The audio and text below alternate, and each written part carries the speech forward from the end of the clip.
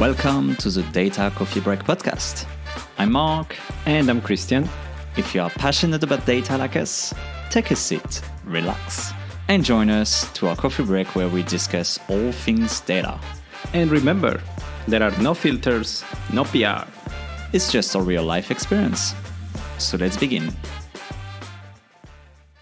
Welcome and let's get started. So, very first episode, Christian, of the Data Coffee Break podcast.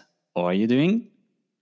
Uh, good, Mark. Yeah, I'm on my third cup of coffee today. Really need a break.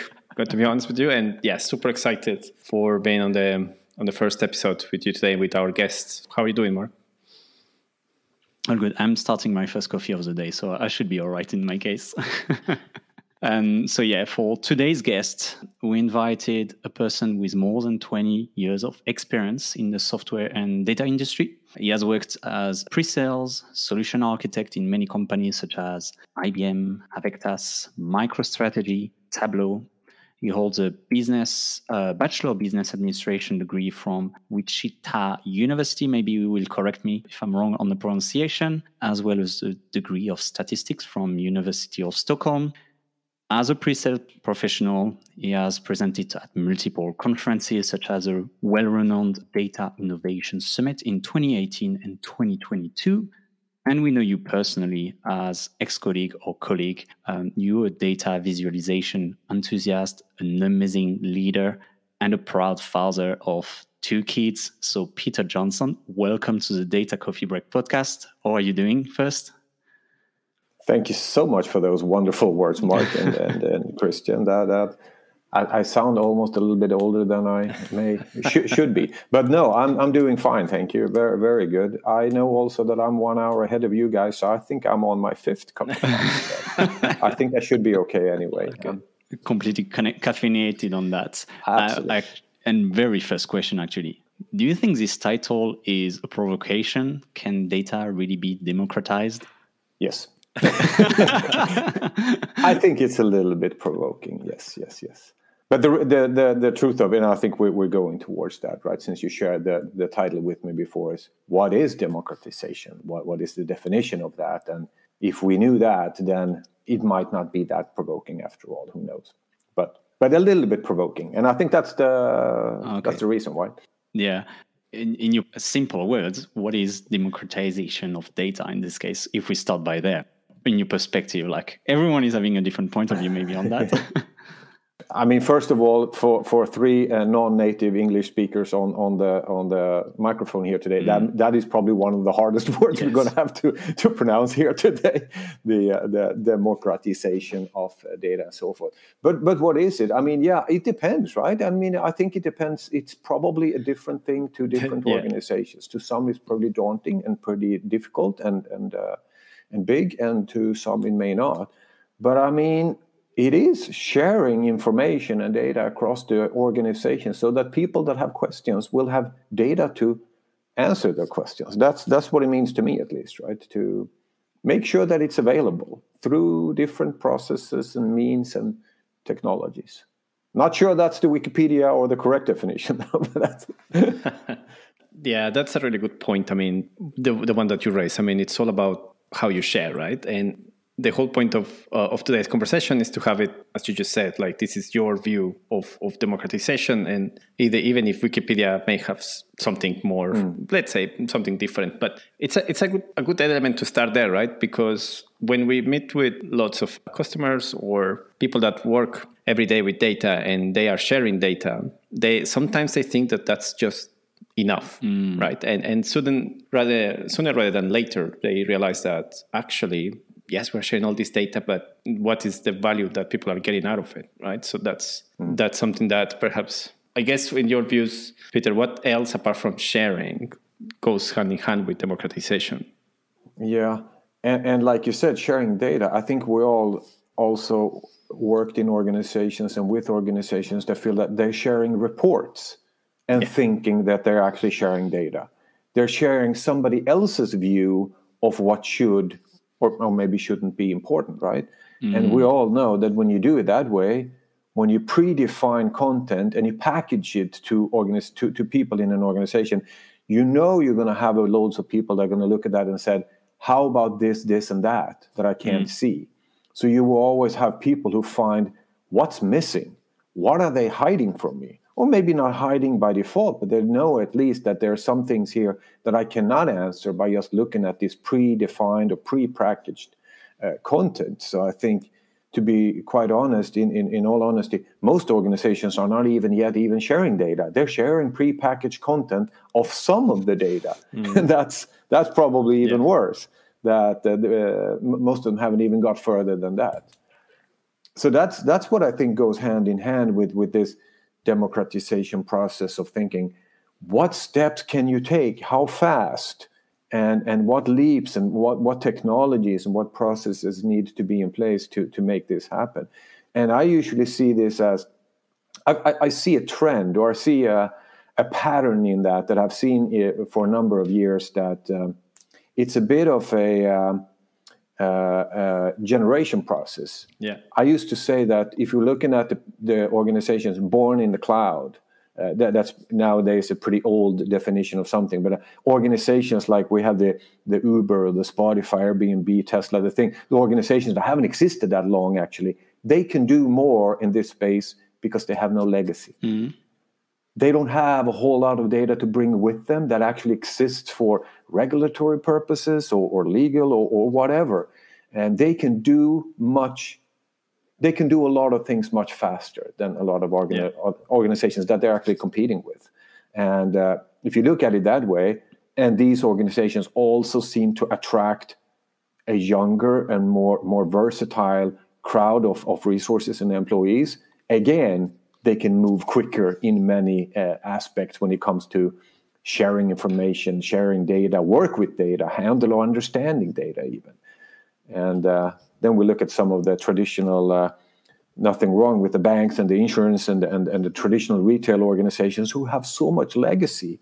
They are many mm. people, mm. they have big organizations. Some of them are, are, are, bigger than many countries, actually. That's how, how large some of these organizations actually are. Yeah. So they, their democratization process are going to be completely different. And I think we need to be very uh, aware of that. that uh, do, do you think it requires like something restarting from the ground up because so you started to speak about like company who have a legacy and more startup like companies starting in the cloud and when you start mm. to hmm. think to speak about that i was thinking about what i went through two weeks ago registering for for a bank here in the uk what we will call a legacy bank um, and it's been just a pain it took me three weeks to get access to mm. to the account and the app and at the opposite so if you know me i'm i'm very talkative about one of the one of the fintech startup here in the UK, uh, who, who is been been built like the past five seven years, something like that, and the process is so easy, and they've been successful because,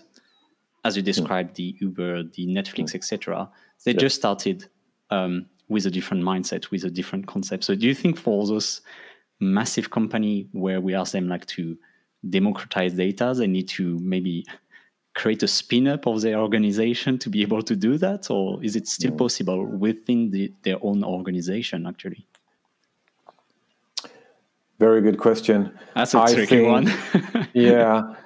Um, they're going to need to do some of that for sure. But I think also, if you're looking at those organizations, and I have some experience also with public sector actually mm. here here in, in Sweden, where, where I'm located, who have done fantastic things uh, in, in, in real short time actually taking their old old legacy environments and, and, and processes and actually turning something into very modern and very uh, uh, cloud and, uh, and web-based environments that, that actually works pretty well and i think that's personally driven they, they actually got access to good people who, mm. who had ideas mm. and maybe got a bit of funding to to realize some of those ideas and uh, and uh, I think they're very also then dependent on those uh, individuals to make these uh, successful ideas happen. Uh, but but I think to, to a larger extent they're going to be very dependent on having access to some really really good uh, smart people who come in and and do uh, and and get the benefit of a doubt to do something different. That, that's yeah. what I think. Talking about legacy and people, right? I think there is a concept there that is all about culture as well, right? Mm. So there is a, as you mentioned, there's some, some of these uh, sectors that there is even a, a culture element there. I've always heard this concept of, um, called data culture. Do you? What's your mm. view on that? What data culture and, and how it actually overlaps with democratization? Again, good question. Because when when when I was asked to participate in this podcast, I, uh, I the, the, first thing that came to my mind is a presentation that I did in May mm. this year uh, at a big uh, conference, and it had around it was around the concept of data literacy mm. and we actually had to make the definitions yeah. of what is data culture what data skills what is data literacy and then now we're talking data democracy and, and how do they actually uh, combine what is what and what is thing i think data culture is extremely important and i think it's going to play a huge role in that and the culture that it brings and what people are trying to do with it mm. for that presentation, we based it on two big, big surveys, big studies done by a very known uh, uh, global uh, consulting company who, who surveyed about 2,000 people, 2,000 decision makers, and some, some workers around the world, and came up with some very interesting numbers that we actually based entire presentation, some, some, some workshops on it. The int- interesting there was that looking at the numbers of looking, uh, finding out what is the, how do these organizations see themselves in data culture and data literacy? Comparing for example european based with uh, the rest of the world since we're all here uh, uh, in, in, europe right now and stemming as i said nearly 80% of those emea based decision makers the, the european uh, people who actually were decision makers CSC, cxos and so forth uh, 80% of them actually think that they're successfully equipping their workers with some really good necessary data skills and, and so forth, actually producing a data culture. Mm. But when interviewing the workers of the same organizations, only half of them agreed. Well, so, so looking at that, what is the discrepancy of how an organization actually see themselves? And then when you talk to the people, it may or may not actually uh, correlate at all that is a very interesting part when we're mentioning the word uh, the word culture in in the same sentence as well. Yeah, and a part is obviously so we start to have more like if we think about people being recruited out of uni or being trained uh, the last five years where data start to be more prominent. I see a lot of programs where data literacy, mm. what we can call data literacy, but in in those programs, let's at uni or in those kind of uh, starters, uh, young starters uh, programs or from some companies, like this is embedded in the culture, but it's for other other other individuals. Mm. It's more complicated in in this case, who they potentially, as you said, leaders think they are ready for that, but internally they don't have specific training or something like that maybe the main mm. uh, one of the reason and also what, what training do they need if they were if they're mm. not coming with this from universities or even high school and, and, so forth and coming out in the in the business world and we know what organizations these young individuals return to is going to be the netflix and the the, the mm. uh, airbnbs and, and teslas and so forth but what, what what training are they supposed to to go for yeah. another interesting factor that we found out in that study that we actually spent a lot of time on also when we had such a big uh, audience in that room was also like if we're talking to some of those decision makers who know they're struggling with this who know actually they are on the other side of the spectrum and, and not really go uh, reaching through uh, and, and, and can call themselves uh, uh, data democratization uh, part of um, the, their business is that what what are the biggest barriers what, what are the biggest barriers from actually doing what, uh, getting better at this and, and and we had a number i think a list of five or six uh, of hmm. those mm. uh, barriers and the top three i remember the, the third one from the top was that they're missing the knowledge on how to improve data skills mm. they don't even know how to do yeah. it if they say okay data is important which we have data we have databases data warehouses and things and we should share, share that but what do we do then mm do we need better tools? Do we need better technologies or do we need better uh, soft skills and things? They, they don't even know what what the skills they're, they're lacking. The second one of course is a more obvious one and that's budget considerations. Mm. this costs money. It's gonna it's gonna need to be an investment for some of these uh, big organizations to yeah. to to get the technology and the processes in place to share this. And the top one i think was the uh, the most mind baffling of them all was like we don't even have enough skilled staff mm. for training of doing this. They're thinking that they need to do it all themselves. That in itself becomes overwhelming when we're looking at what the world looks like today. There, there are going to be cost reductions, there are going to be reductions in, in all kinds of areas. And of course, these improvement areas are going to be uh, suffering in that uh, aspect, I think, for, for a long, long time going forward. But I think it's just going to be more important to have.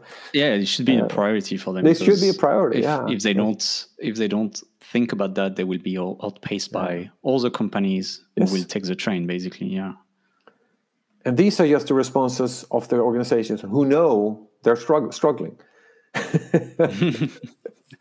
yeah what what I usually see, you know, and, and I think you tap into really something really important. I find your uh, investigation fascinating, by the way. And what, one of the things that we see is like, okay, so we have all these people that are willing to know or willing to get trained. Mm. And in your experience, do you see this coming from leadership in the, in an organization? I mean, leadership, of course, you always need to to have a buy-in, but your experience, do you see this more like um, this is driven by the bottom of the organization. I'm talking about bottom, mm. talking about people in the field, people that that are um, working with data every day, and say, look, we need to find a solution to work with data. Or do you see more mm. that's success rate or better success rate when it comes from the top? I think when it works, it comes from the top. Okay. When it works, you have leadership buy-in and leadership getting making this a priority without leadership or priority and buy-in, I, I, think it's it's it's going to be very very mm. difficult, and that's what I see as well uh, in in the experiences that I have. Uh, the, the, organizations that they, they, have gotten the budgets, they have gotten some some some funding for this, and and leaders think this is really really important. We, we actually have a, had a section in that presentation as well that we uh, I forgot what it, what it was called, but it was actually around what do you do if your managers are not doing this, if they're not leading by example? In, in, in poor English, it was called the bullshit factor. I mean, people, or, or employees would see through mm-hmm. if, if, if leaders yeah. are pretending that we should do this, this, and that, we should uh, have make data driven uh, uh, decisions and blah, blah, blah. But if they're not doing it themselves, if they're not backing up their decisions by real facts and numbers and actually using the same mm. uh, information uh, providing that like, like everybody else. People will see through it and they won't take it as uh, seriously. Yep. Uh, another really uh, in, interesting part of that. But but i for sure leadership buy-in and, and, and top down is going to be very very important. So we need to have all leadership going through like um, data literacy and data culture trainings and get them like to get uh, the hand dirty with data basically as a start. I absolutely, absolutely. Trying to be a bit fair here, you know, not not devil's advocate, but perhaps a bit. Do you really think that you should democratize all of your data? Like being pragmatic, right? So we work with organizations of all types. I haven't been on a meeting where the CTO or the person that is in charge of, of data said like, yeah, let's actually open open this with to, to the organization. There's always um, and I'm talking mm. about the basics here, right? Oh, you should not see this data, you should not see this this sort of information, but really like mm. be open to share everything. Do you, do you have a view there on on Yes, I do. And uh, no, not all data can and should not probably be be uh, available to everyone when we're thinking mm, like data privacy exactly, and, yeah. and yeah. regulations and uh, and and GDPR and all these kind of things, specifically in public sector hospitals and things like that. So I, I think it's it's it's a uh, it's granted. But I think what you're what you're reaching for is like, what about everything else that is actually yeah. normal data, right? Uh, I, I I say, why not? What would be the worst thing that could happen if we make too much data available to an organization? I mean, granted, they, they will be drowning in it. We're drowning in it today anyway, right? I mean, we can't even get through a Google search without uh, being very drowned in, in, in yeah. suggestions and, and stuff, right? Uh, but what would be the worst thing that could happen? Good example is I was working with a customer here in, in Sweden not too long ago who were deploying a big uh, uh data and analytics uh, solution and their data leader he was from IT, but he had a very pragmatic view on this around permissions and authentication mm. through the technology. Mm. And we we all come from this environment where we should protect things and we should lock down things and maybe we should allow it to trickle down and make sure that people inherit certain permissions and, and access rights and so forth that's that's how we've been trained traditionally right to to deploy these kind of solutions yeah he thought that was quite complex so he said why don't we turn it upside this was actually an insurance company pretty leading insurance organization in the in the nordics actually they turned it upside down and said let's forget about what would be the worst thing that could happen if we make everything available internally. Then people started yelling, of course, hey, come on, we're an insurance company, and we can't make this. some, some information here is pretty important. Sure, but let's start locking that down first and see what we can leave open. And they did their permission model that way instead. Surely they locked down a lot of data sources and, and any information that, that can't be uh, available, but the rest they left completely open. Amazing. And he said, my permission uh, model of my uh, uh BI and analytics solution is extremely simple. Mm-hmm. I have not complicated anything yeah. at all. There, there, are a few tables and there, there are a few folders and so forth that are locked down, and I, I can handle that quite easily. Uh, so I think, answering your question, before I would be more hesitant. I think I'm more yeah. open today. There are things, of course, we need to lock mm. down for, for obvious reasons but apart from that, why should we? And uh, uh, which which level like this uh, this person said like okay let's give it a try um, to open was it posi- was he positioned as like a da- chief data officer or does it no no no he was mid level okay. mid level IT he was um, he was set to manage the the the BR the data analytic, analytics mm. platform uh, technology wise so no he was mid level he might be listening to this. So um, even at, at, at this level, he was able to to make the decision and get the trust from from his leadership yes. to, to do that. Yes, at least to give it a try, right? Yeah. Yeah. I mean, that can be super scaring for a lot of organizations. It's it's a massive shift. Yes. He, I remember when he shared this information in in a, in, a, in an open auditorium in a, yeah. in, a, in at a conference where peers, other people in the insurance organization world raised their hand and said, "What you're saying, I, I found extremely provo- provo- provocative, provocative right now."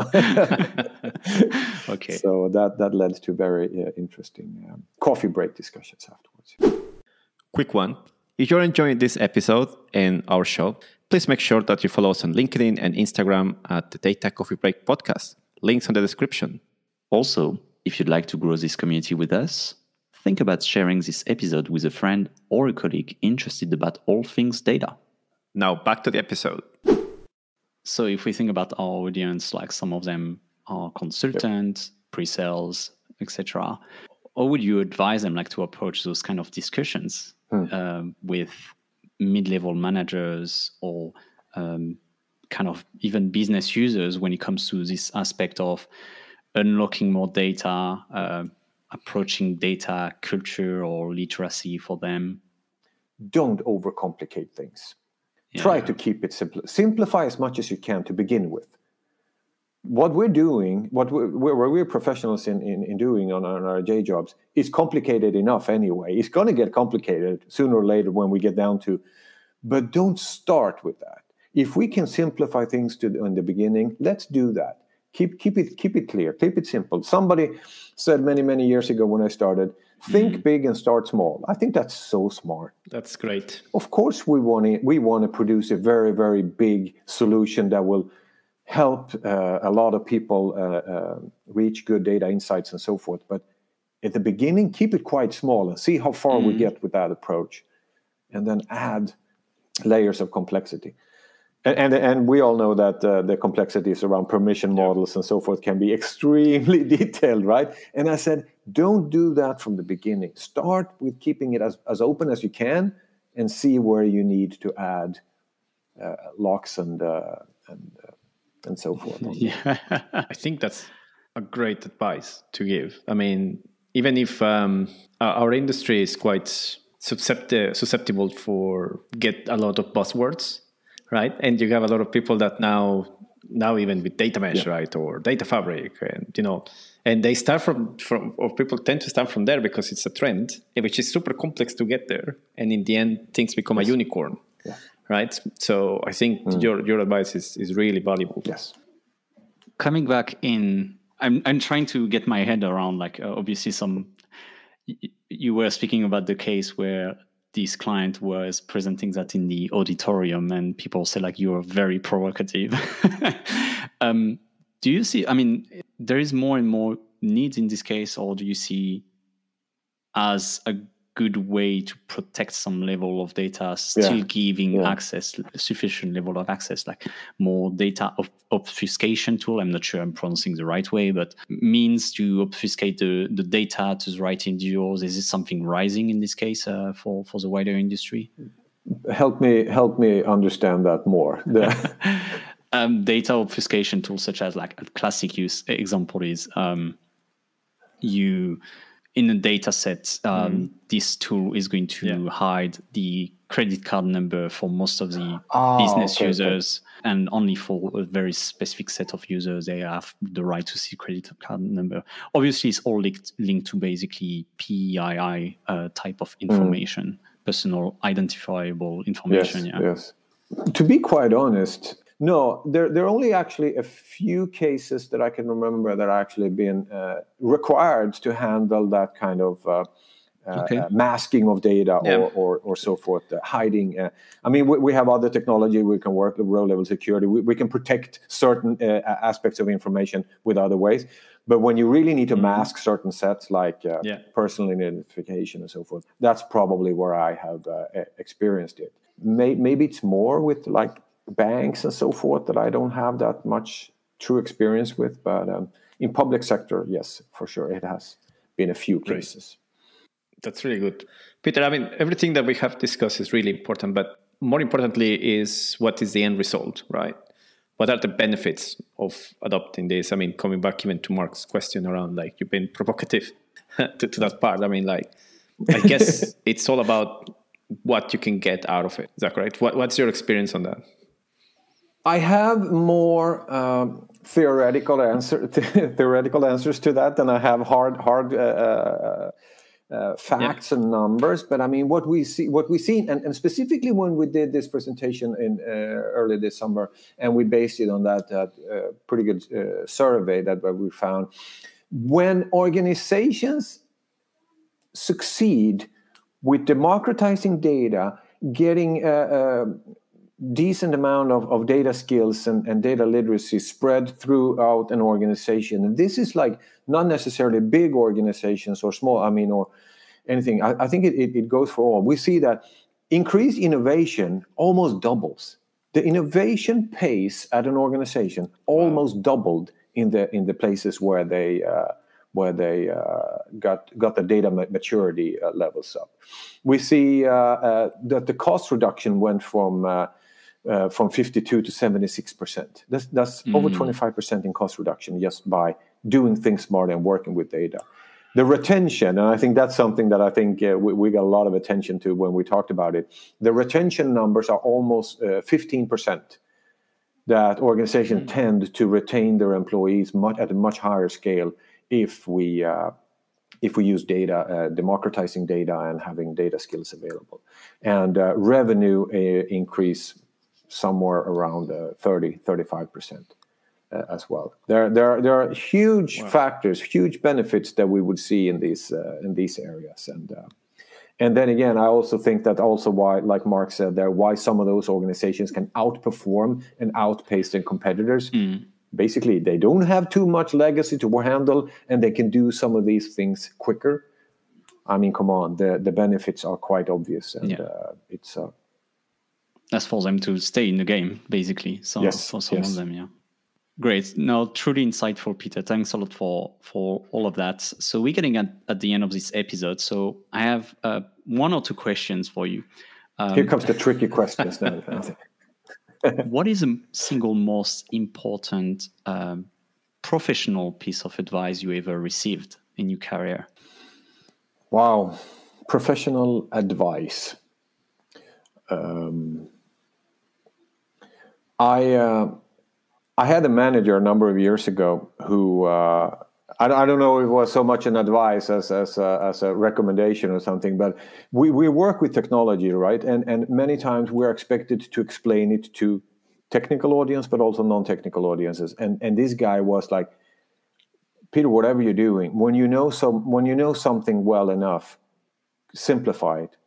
If you can simplify it so that the bigger audience understand it, you're going to get so much more out of what you're trying to say than trying. Uh, maybe I was or wasn't, but trying to impress on the people that are are, are technical, right? Mm-hmm. So uh, simplifying yeah. what we do will take us much further than uh, than we think. I think that, uh, that that's a that's a pretty good advice. I think, and um, but I think it was also maybe a bit, bit, of a feedback from him to me on on a previous from, an, from experience. an experience. Yeah, but uh, I, I, I remember that, and I, I think that's pretty good. Yeah, I like this one. Yes, what we're trying to do for the audience is that during all these episodes, we want to you know collect a bank sure. of advices. Yeah. You know, so you just started with the first one. It's going to be at the top. Yeah, you was a guinea pig. Yeah, on that. But yes, was it a good one, or should. I change? I, I love it. I love it. Yeah. Okay, good. right. Thank you so much, Peter, for your time. Uh, where can people follow you or find you? Where, where are you most most of the time in social media? Good question. Thank you so much for having me. Of course, uh, it's been a pleasure, and uh, I love talking about these things. As you as you heard, as you understand, very passionate. I uh, I have a, I, I tweet and I post on LinkedIn. Uh, my LinkedIn posts are almost only professional or, or most of the times related to my employee. Yeah. Not always, but most of the time. My tweets are a little bit more uh, personal and uh, could right. be about basically. Okay, we will put your Twitter handle uh, on the yeah, description then. You can put yeah, any any of them. That's fine. No, great, fantastic. Thanks a lot, Peter. Thanks so much. See you next week. Thanks for listening to this episode. This podcast represents our views and not the ones of our employers. Our mission at the Data Coffee Break podcast is to inform you and help you grow in this always changing data field. Follow us and get into the conversation with the community on our LinkedIn page and Instagram. See you next Tuesday, and until then, keep your data caffeinated.